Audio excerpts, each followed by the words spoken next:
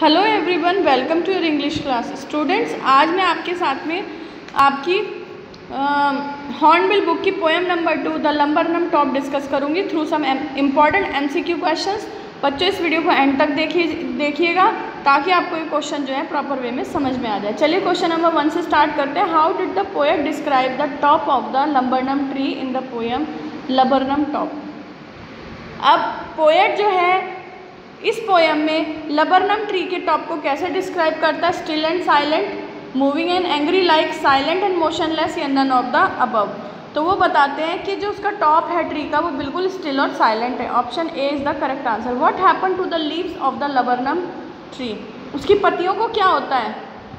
They were green turn yellow fallen down या new leaves growing तो इसका answer क्या है? They turn yellow next question how was the tree standing in the month of September September के महीने में वो पेड़ कैसे खड़ा था? खड़ा हुआ था स्टिल एंड डेथ लाइक बिल्कुल ऐसे खड़ा हुआ था, सीधा का सीधा जैसे मतलब उसमें जीवन हो ही ना पेड़ में बिल्कुल भी। अलाइव था वो ग्रीन और हैप्पी था स्टिल या ग्रीन था वो स्टिल और डेथ लाइक था। क्योंकि कोई हलचल नहीं हो रही थी पेड़ पे, इसलिए वो स्टिल था। डेथ लाइक इसलिए था, उसकी पत्तियाँ पीली हो रही थी। नो मूवमेंट एट ऑल चलिए क्वेश्चन नंबर फोर देखते हैं. When did the dead like tree became alive अब वो पेड़ जो बिल्कुल ऐसा लग रहा था कि मृत है बिल्कुल, वो अलाइव कैसे हुआ, उसमें जान कैसे आई? In the month of March by the arrival of monsoon season by the arrival of gold finch bird या by the arrival of sparrows option C is the correct answer जब उस पर गोल्ड फिंच बर्ड आती है, तब वो पेड़ जो है वो अलाइव हो जाता है. Why did the gold finch bird came towards the tree अब वो बर्ड जो है वो पेड़ के पास क्यों आती है? पेड़ पर क्यों आती है? To feed her young ones to make a nest to rest या नन ऑफ़ द अबव वो अपने बच्चों को खाना खिलाने के लिए आती है। अपने यंग वंस को फ़ीड करने के लिए आती है। Where are the young ones of the gold finch bird अब उस गोल्ड फिंच बर्ड के गोल्ड फिंच बर्ड के जो यंग वंस थे, यानी उसके जो बच्चे थे, वो कहाँ पर थे? On the thickness of the branch on the top of the tree on the other tree या देवर नेवर देयर वो तो वहाँ कभी थे ही नहीं। तो इसका ऑप्शन क्या? On the thickness of the branch option A is the correct answer चलिए क्वेश्चन नंबर सेवन देखते हैं. What role does the tree play for the gold finch bird अब उस बर्ड के लिए जो है, वो ट्री जो है, वो क्या रोल प्ले कराता है? As a shelter as a supporter as a means to feed her family as a resting place तो वो क्या था उसके लिए? एक शेल्टर था. Option A is the correct answer how did the bird move to the other side of the branch bird जो है, वो ब्रांच की दूसरी साइड पर कैसे मूव करते? हैं लाइक अ लिजार्ड एक छिपकली की तरह स्लोली धीरे धीरे स्मूथली या बाय फ्लाइंग तो वो कैसे जाती है? Just like a lizard option A is the correct answer how did the bird arrive at the other branch of the tree अब बर्ड जो है वो दूसरी ब्रांच पर कैसे जाती है ट्री की? With a chirping sound silently never arrive at the other branch flew away and then arrive at the branch तो इसका आंसर क्या है? With a chirping sound next question number ten is what happen after she fed her young ones जब वो अपने बच्चों को जो है भोजन करा देती है, उन्हें फ़ीड कर देती है तो उसके बाद क्या होता है? फ्लू अवे वो उड़ जाती है वापस आसमान में। She flew to the other side of the branch वो ब्रांच की दूसरी साइड में उड़ जाती है। शी स्टेट देयर वो वहीं रुकती है। She took some rest in the nest वो अपने घोंसले में थोड़ा सा आराम करती है। She flew to the other side of the branch option B is the correct answer चलिए क्वेश्चन नंबर इलेवन देखते हैं। Why was gold flints body barely visible उस पक्षी की जो बॉडी है, उस पेड़ पर क्यों नहीं दिखाई देती?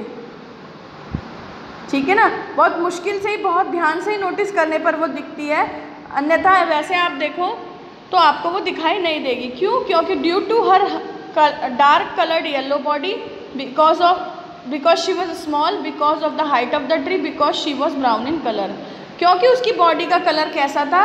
डार्क येलो कलर था और पेड़ की पत्तियाँ भी पीली हो रही थी तो पीली पत्ती वाले पेड़ पे उसकी पीली बॉडी जो है वो बहुत मुश्किल से विजिबल हो रही थी। Where did the bird vanish after feeding her young ones अपने बच्चों को भोजन कराने के बाद वो पक्षी जो है वो कहाँ चली जाती है?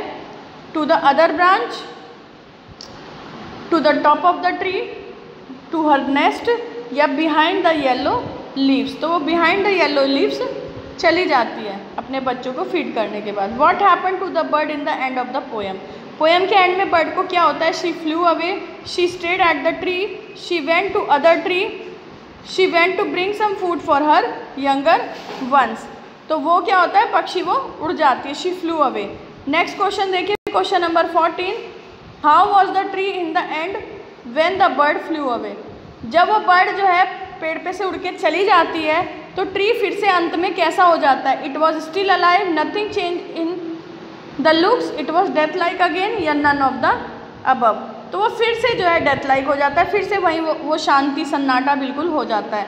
What instance of the alliteration has been use in the poem the laburnum top out of the following option इसमें एलिट्रेशन जो आपकी फिगर ऑफ़ स्पीच है उसका कौन सा ऑप्शन जो है यहाँ पर जो है सही होगा? Engine of her family her bared face leak as a lizard या सेप्टेम्बर सनलाइट तो बहुत सिंपल है सेप्टेम्बर सनलाइट दोनों ही जो है आपके एस से स्टार्ट हो रहे हैं तो आपका डी ऑप्शन जो है वो करेक्ट आंसर है। नेक्स्ट क्वेश्चन है आपका sixteen what transfer epithet was use in the poem laburnum top अब ट्रांसफ़र एफिथेट क्या होता है बच्चों? एडजेक्टिव को जो है हम जिसके लिए यूज़ कर रहे हैं, वहाँ से हटाकर हम दूसरी जगह पर लगा देते हैं, उसको ट्रांसफ़र कर देते हैं। Her bared face identity mask engine of her family sleek as a lizard या सेप्टेम्बर सनलाइट तो इसका आंसर क्या है? ऑप्शन ए हर सॉरी ये बेयर्ड नहीं था, मैंने गलत प्रोनाउंस कर दिया ये। Her bared face identity mask तो ये आपका ट्रांसफ़र एपिथेट का एग्ज़ाम्पल है। नेक्स्ट क्वेश्चन है आपका what does the phrase her bared face identity mask mean लो, यही आ गया अब कि इसका मतलब क्या होता है? Because she was brown in colour क्योंकि वो ब्राउन कलर की थी। Due to her dark coloured yellow body ठीक है ना? उसकी बॉडी का कलर ही डार्क येलो था, इसलिए वो पहचान नहीं हो पा रही थी। Bird's face became her identity and symbol of recognition उसका चेहरा जो है, वो उसकी पहचान था और वो उसको रिकॉग्नाइज करने का एक सिंबल भी था। तो तो यही इसका करेक्ट आंसर है। उसका फेस जो है वो उसकी आइडेंटिटी का मार्क था और सिंबल ऑफ़ हर रिकॉग्नाइजेशन था। तो हर बार्ड फेस जो है आइडेंटिटी मास्क जो है, इसका मतलब यही है। ठीक है ना? Next question number eighteen what is the dominant colour used in the poem poem में किस कलर को बहुत ज़्यादा यूज़ किया गया है? ब्रेड ब्लू येलो या green yellow colour yellow colour की पेड़ की पत्तियाँ हैं ही कलर आपकी बर्ड का भी है। What is describe by the word sleek in the poem sleek से आपकी पोएम में क्या डिस्क्राइब किया गया? स्लीक वर्ड का क्या मतलब है? किसको मतलब रिप्रेजेंट करने के लिए स्लीक वर्ड यूज़ करा है? लिजार्ड बर्ड या ब्रांच या टॉप ऑफ़ द ट्री इसका आंसर है लिजार्ड नेक्स्ट क्वेश्चन है what is describe as engine in the poem poem में इंजन किसे बताया गया? लिजार्ड को मशीन को लबरनम ट्री को या फिर आपके नन ऑफ़ द अबव को? तो इसका आंसर है लबरनम ट्री को इंजन बताया गया। आई होप बच्चों, आपको ये क्वेश्चन समझ में आ गए होंगे। Thank you have a very good day